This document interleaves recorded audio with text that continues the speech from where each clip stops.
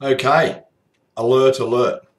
The best $5 upgrade you can do in RC if you have a 2.4 gigahertz radio transmitter and it's able to accept a screw-on antenna.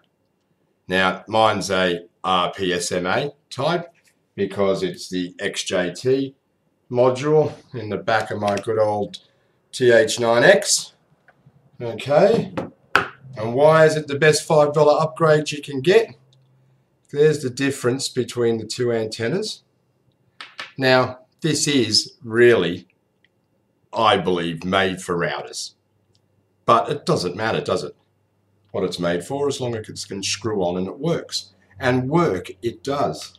Um, you might have seen the videos where I bagged the shit out of this particular receiver, the RX800 clone of the FrSky protocol receiver.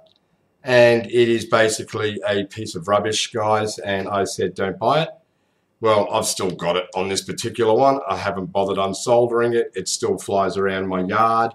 Um, went to the park with it though this morning with the new antenna on the radio and one or two fail safes and I was going nearly twice the distance.